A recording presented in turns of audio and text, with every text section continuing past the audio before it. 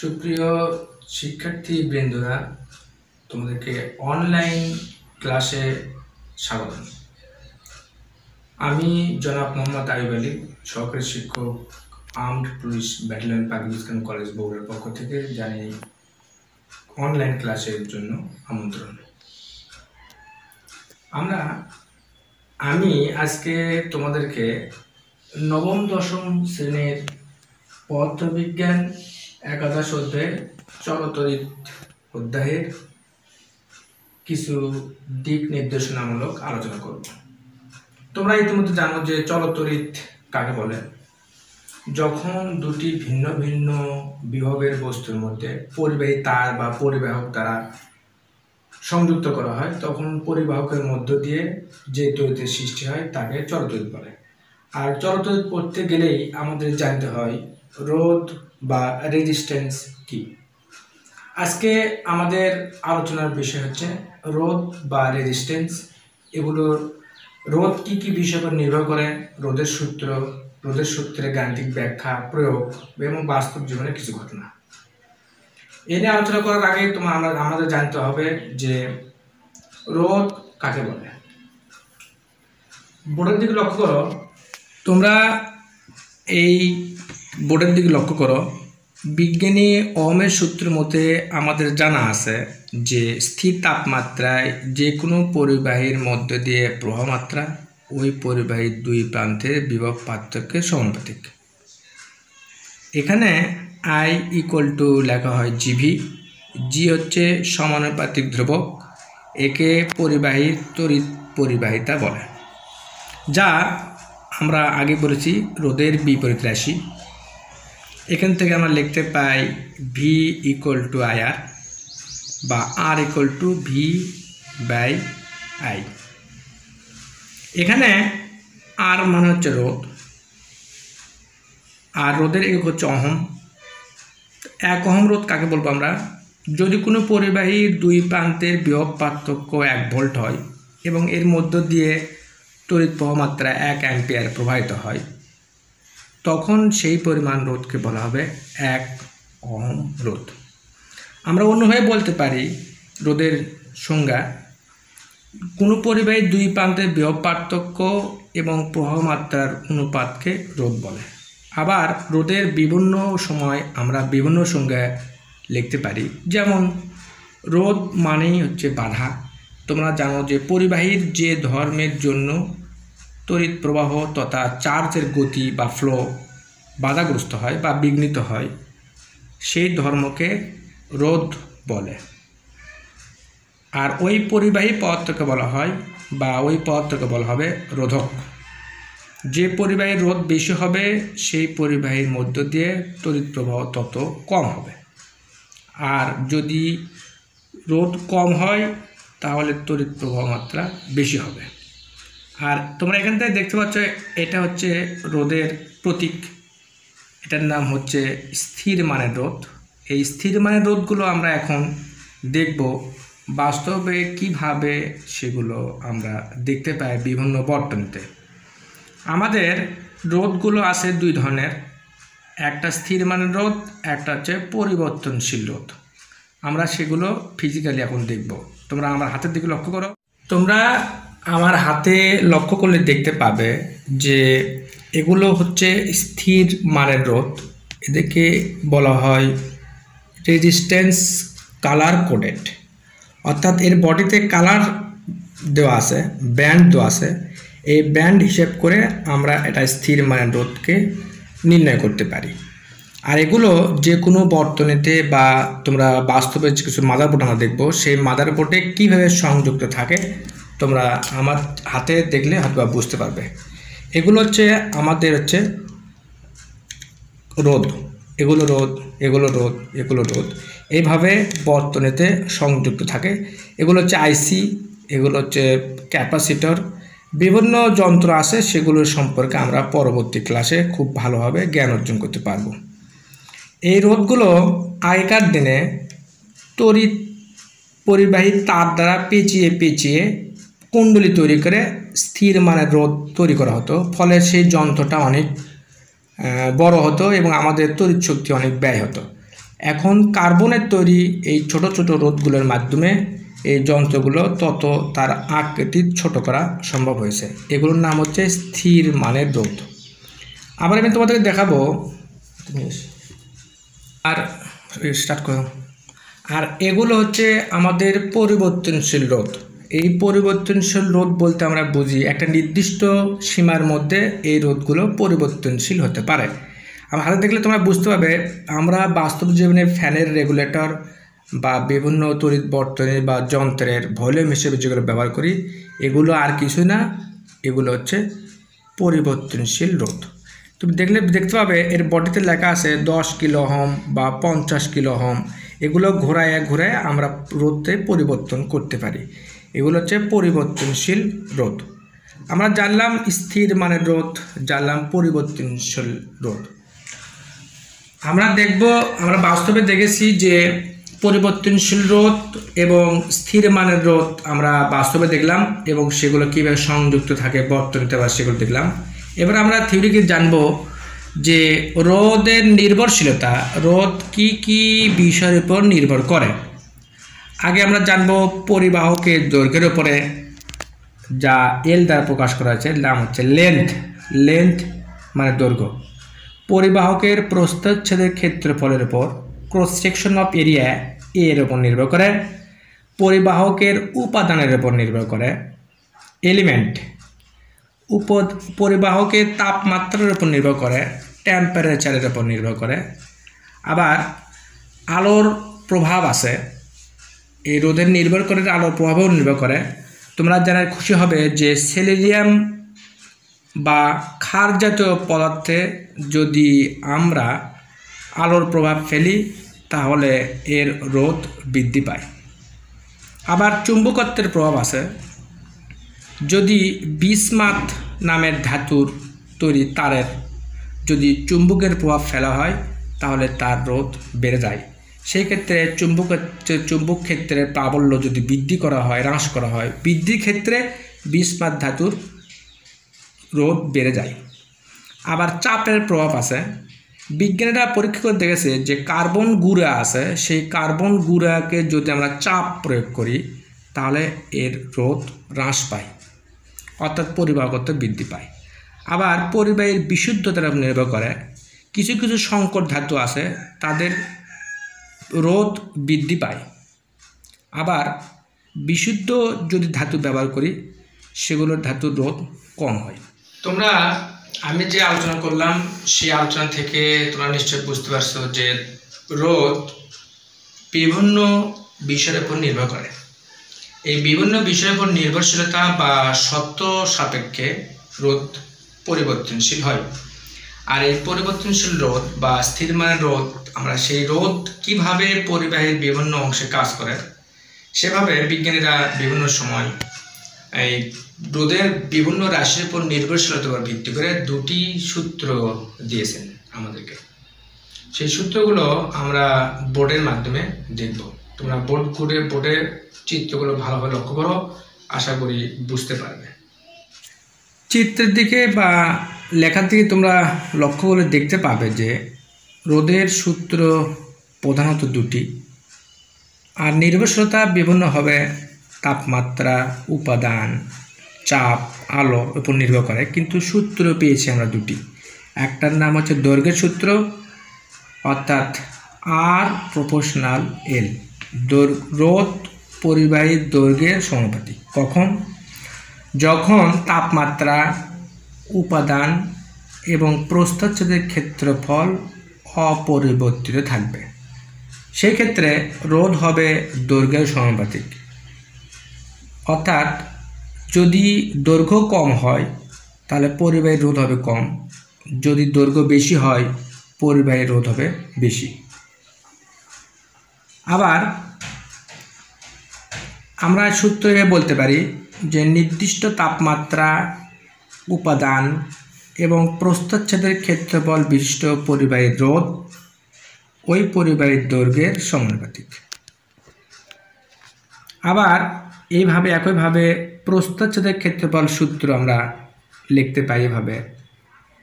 আর সমানুপাতিক one by এ অর্থাৎ কোনো পরিবাহীর রোধ ওই পরিবাহীর প্রস্তচ্ছেদের ক্ষেত্রফলের ব্যস্তানুপাতিক। কখন? যখন তাপমাত্রা, উপাদান বা পরিবাহী এবং দৈর্ঘ্য অপরিবর্তিত থাকে। তাহলে সুতরাং বলতে পারি যে নির্দিষ্ট পরিবাহকের স্থির তাপমাত্রায় এবং নির্দিষ্ট দৈর্ঘ্যের পরিবাহীর রোধ, ওই পরিবাহীর প্রস্থচ্ছেদের ক্ষেত্রফলের ব্যস্ত অনুপাতিক অর্থাৎ প্রস্থচ্ছেদের ক্ষেত্রফল যদি বেশি হয়, রোধ হবে কম। আর প্রস্থের ক্ষেত্রফল যদি কম হয়, তাহলে রোধ হবে বেশি। তোমরা ইতিমধ্যে জানো যে মোটা তার এবং চিকন তার। মোটা তারের প্রস্থচ্ছেদের ক্ষেত্রফল বেশি, তাই রোধ কম হয়, খুব সহজেই বিদ্যুৎ প্রবাহিত হতে পারে। এই দুই সূত্র আমরা একত্রে লিখতে পাই, আর সমানুপাতিক এল বাই এ যখন শুধুমাত্র তাপমাত্রা এবং পরিবাহক বা উপাদান নির্দিষ্ট থাকে এবং এল দৈর্ঘ্য এ প্রস্তুতের ক্ষেত্রফল দুটাই পরিবর্তনশীল রাশি। এই সমীকরণ সমাধান করলে আমরা লিখতে পাবো আর সমান সমান রো এল বাই এ এখানে রো রো হচ্ছে সমানুপাতিক ধ্রুবক, একে পরিবাহীর আপেক্ষিক রোধ বলে। আমরা আপেক্ষিক রোধের বা স্পেসিফিক রেজিস্ট্যান্সের সঙ্গে আমরা এভাবে লিখতে পাই rho equals to R A by L যদি আমরা একক দিয়ে লিখি, তাহলে এইভাবে লেখা যাবে, যার একক আসবে অহম মিটার অর্থাৎ একক দৈর্ঘ্য এবং একক প্রস্থচ্ছদের ক্ষেত্রফল বিশিষ্ট পরিবাহীর রোধকে ওই তাপমাত্রায় ওই উপাদানের আপেক্ষিক রোধ বলে। আমরা এই সমীকরণ থেকে আরও বলতে পারছি যে কোনো পরিবাহীর রোধ আপেক্ষিক রোধের সমানুপাতিক। কখন, যখন দৈর্ঘ্য এবং প্রস্থচ্ছেদের ক্ষেত্রফল নির্দিষ্ট থাকবে। তামা বা কপারের জন্য আপেক্ষিক রোধের মান one point five four into ten to the power minus eight ohm metre বলতে আমরা বুঝি। শূন্য ডিগ্রি সেলসিয়াস তাপমাত্রায় এক মিটার দৈর্ঘ্য এবং এক বর্গ মিটার প্রস্থচ্ছেদের ক্ষেত্রফল বিশিষ্ট। তামার পরিবাহীর রোধ হবে এত অহম আপেক্ষিক রোধের থেকে আমরা বলতে পারি পরিবাহকত্ব। তোমরা জেনে খুশি হবে যে পরিবাহকত্বকে সিগমা দ্বারা প্রকাশ করা হয়। সিগমা বা পরিবাহকত্ব কাকে বলে? কোনো পরিবাহীর আপেক্ষিক রোধের বিপরীত রাশিকে পরিবাহকত্ব বলে। পরিবাহীর যদি পরিবাহকত্ব বেশি হয়, তাহলে আপেক্ষিক রোধ হবে কম। আর যদি আপেক্ষিক রোধ বেশি হয়, তাহলে পরিবাহকত্ব হবে কম। এর একক হবে পার অহম মিটার বা পার অহম পার মিটার। ক্লাস শেষে আমরা এই অধ্যায়ের জন্য অল্প কিছু প্রয়োজনীয় সূত্রাবলী পেলাম। R equals to rho L by A R মানে রোধ রো মানে আপেক্ষিক রোধ এল মানে দৈর্ঘ্য, আর এ মানে হচ্ছে প্রস্থচ্ছেদের ক্ষেত্রফল। আমরা এই প্রস্থচ্ছেদের ক্ষেত্রফলকে আমরা এভাবে লিখতে পারি পাই আর স্কোয়ার এখানে আর মানে হচ্ছে ওই পরিবাহী তারের বা গোলাকার পরিবাহীর রেডিয়াস বা ক্ষেত্রফল। যদি ডায়ামিটার থাকে, তাহলে সমীকরণটা এরকম হবে। ডায়ামিটার মানে হচ্ছে ব্যাস। তাহলে সমীকরণ এটা একটা রূপ, এটা একটা রূপ, এইভাবে থাকতে পারে।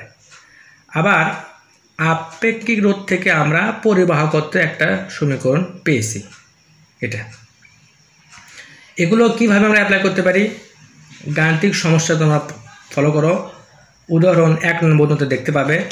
টেলিফোন তারের উপাদানের আপেক্ষিক রোধ এত অহম মিটার, এর ব্যাসার্ধ এত সেন্টিমিটার হলে বারো কিলোমিটার লম্বা তারের রোধ কত হবে? আমরা এই অঙ্ক থেকে আমরা প্রথমে ডেটা সংগ্রহ করব। আপেক্ষিক রোধ, ব্যাসার্ধ প্রস্তুতির ক্ষেত্রফল, দৈর্ঘ্য লিখব। এগুলো একক চেপ পরিবর্তন করা আছে। সেন্টিমিটার কিলোমিটার করা হয়েছে, কিলোমিটার কিলোমিটার করা হয়েছে। তোমরা জানো যে এই সাই একক লিখতে হবে। পরিবাহী তারের রোধ কত হবে? আমরা R equals to rho L by A এই সমীকরণের মাধ্যমে উত্তর পাবো এত। দ্বিতীয় উদাহরণ দেখ, ভালো করে দেখো তোমরা। এত মিটার দীর্ঘ এবং এত মিলিমিটার ব্যাসের একটি তারের রোধ পনেরো ওহম। তারটির আপেক্ষিক রোধ কত? তাহলে আমরা প্রথমে ডাটা সংগ্রহ করব, তারপর সূত্র লিখব, মান বসাবো, উত্তর পাবো। পরবর্তী আরেকটা উদাহরণ দেখো তোমরা। তিন নম্বর উদাহরণ। পনেরো অহম রোদের একটি তার, তামার তার টেনে এমনভাবে লম্বা করা হলো যে তারের দৈর্ঘ্য চার গুণ হয় এবং প্রস্থচ্ছেদের ক্ষেত্রফল এক চতুর্থাংশ হয়। পরিশেষে রোধ কত হবে? তাহলে প্রথম ক্ষেত্রে রোধ আর ওয়ান পনেরো অহম, দৈর্ঘ্য এল ওয়ান এবং পরবর্তী দৈর্ঘ্য L two four L one অর্থাৎ আদি দৈর্ঘ্যের চার গুণ হবে। অনুরূপভাবে প্রথম ক্ষেত্রে প্রস্তুতের ক্ষেত্রফল এ ওয়ান হলে দ্বিতীয় ক্ষেত্রে প্রস্তুতের ক্ষেত্রফল হবে হচ্ছে A two A one by four আগে বলা হয়েছে এক চতুর্থাংশ হয়ে যায়। প্রথম ক্ষেত্রে রোধ দেওয়া আছে, দ্বিতীয় ক্ষেত্রে রোধ বের করতে হবে। আর তোমরা নিশ্চয় জানো যে যেহেতু একই পরিবাহী, তাই আপেক্ষিক রোধ একই থাকবে, অর্থাৎ R one sorry rho one rho two আর রো একই হবে। তাহলে সমীকরণতে আমরা মান বসাবো এগুলো। প্রথম তার জন্য লিখতে পাই মানে প্রথম ক্ষেত্রে লিখতে পাই সমীকরণ, দ্বিতীয় ক্ষেত্রে লিখতে পাই সমীকরণ। এক নম্বর সমীকরণ বা ধরে রাখতে এক নম্বর সমীকরণ, দুই নম্বর সমীকরণ। যদি আমরা ভাগ করি, তাহলে সমীকরণ সমাধান করলে এরকম পাওয়া যাবে। সেক্ষেত্রে আর টু সমান সমান হবে হচ্ছে আর ওয়ান ইন্টু ষোলো। গুণ করলে হবে এত। হিসেব নিকাশটা খুব ভালোভাবে তোমরা দেখে নেবে, আশা করি বুঝতে পারবে। আবার লক্ষ্য করো, চার নম্বর উদাহরণে, একই উপাদানে দুটি রোধের মান সমান। রোধ দুটির দৈর্ঘ্যের অনুপাত ফোর ইস টু নাইন হলে রোধক দুটির ব্যাস বা ব্যাসার্ধের অনুপাত কত হবে? এখানে L one is two L two equals to দেওয়া আছে ফোর ইস টু নাইন। অর্থাৎ প্রথম পরিবাহী তারের বা রোধের দৈর্ঘ্য এল ওয়ান, দ্বিতীয় পরিবাহী বা রোধের মান দৈর্ঘ্য হচ্ছে L two D one is two D two অর্থাৎ প্রথম তারের ডায়ামিটার দ্বিতীয় তারের ডায়ামিটার কত? অনুপাত কত? এখানে যেহেতু বলছে প্রথম তার বা প্রথম রোধ, দ্বিতীয় রোধ সবসময় রোধের মান একই হবে। সেক্ষেত্রে আমরা তার দুটির দৈর্ঘ্য এল ওয়ান এল টু ধরলাম। ব্যাস যথাক্রমে ডি ওয়ান ডি টু ধরলাম। রোধ আর এবং আপেক্ষিক রোধ রো হলে আমরা প্রথম তার জন্য লিখতে হবে এটা, দ্বিতীয় তার জন্য লিখতে হবে এটা। এই সমীকরণগুলো ভাগ করলে আমরা সমীকরণটা লিখতে হবে। এভাবে ভালোভাবে সমাধানগুলো করবে, বোঝার চেষ্টা করবে। পরবর্তীতে না পারলে আমি তোমাদেরকে হেল্প করব। এভাবে তোমরা গাণিতিক সমস্যা এবং বাড়ির কাজগুলো সম্পূর্ণ করার চেষ্টা করবে। প্রথম সমস্যা দেওয়া আছে, দ্বিতীয় সমস্যা দেওয়া আছে, তৃতীয়, এভাবে ছটা দেওয়া আছে। এখানে আমরা সংক্ষেপে ভাবেও করতে পারি, তোমরা জানো যে পরিবাহী তারের দৈর্ঘ্য যদি দ্বিগুণ হয়ে যায়, সেক্ষেত্রে রোদ দ্বিগুণ হয়ে যাবে। এবং প্রস্থচ্ছেদের ক্ষেত্রফল অর্ধেক হয়ে যায়, তার জন্যও রোদ দ্বিগুণ হয়ে যাবে। ফলে আগে যে পরিমাণ রোদ থাকবে, যদি পরিবাহী তারকে টেনে দ্বিগুণ দৈর্ঘ্য বৃদ্ধি করা হয়, তাহলে রোদও চার গুণ বেড়ে যাবে। যদি তিন গুণ বৃদ্ধি করা হয়, তাহলে পরিশেষে রোদ নয় গুণ বেড়ে যাবে। এভাবে অঙ্কগুলো সংক্ষিপ্ত আকারে করা যেতে পারে। সর্বশেষে তোমাদের জন্য একটা চিত্রের মাধ্যমে অঙ্ক দেওয়া আছে একটা। রোদ পাঁচ অহম দৈর্ঘ্য দুই মিটার। আপেক্ষিক মান দেওয়া আছে। যে পরিবেশ তার তার রেডিয়াস বা ব্যাসার্ধ দেওয়া আছে। এই চিত্রের পরিবেশ তার দ্বারা সাত অহম রোধ তৈরি করা সম্ভব বা তৈরি করা যাবে কি? যাচাই করো। ওটা করার চেষ্টা করবে। আশা করি ভালো লাগবে। তোমরা এমসিকিউ এর জন্য এই অঙ্কগুলো তোমরা সংক্ষিপ্ত আকারে মনে রাখতে পারো যে একটি পরিবেশ তারের দৈর্ঘ্য যদি দ্বিগুণ করা হয় তাহলে নিশ্চয় প্রস্তাচ্ছেদের ক্ষেত্রে উপলব্ধ হয়ে যাবে। এই ইনফরমেশন উল্লেখ থাকতে পারে, নাও থাকতে পারে। সেই ক্ষেত্রে আমরা বলতে পারব, দ্বিতীয় ক্ষেত্রে রোধ হবে।